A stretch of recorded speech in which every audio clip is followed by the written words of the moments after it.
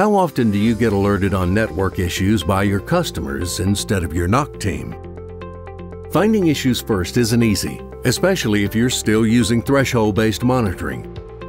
If you're looking at your network as silos, if you're struggling to prioritize alerts, and especially if you're still looking here to understand customer experience, there's a much better way to monitor your network. It's Anodot.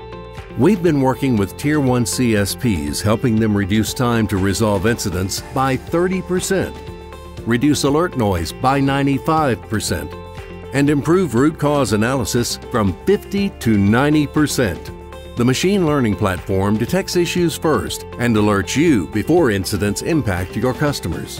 Imagine having a data analyst tracking every single KPI and alerting you to incidents happening across multiple silos.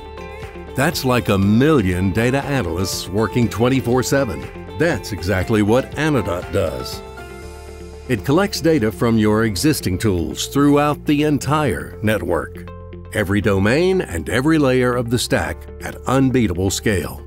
There are no thresholds. How is that possible?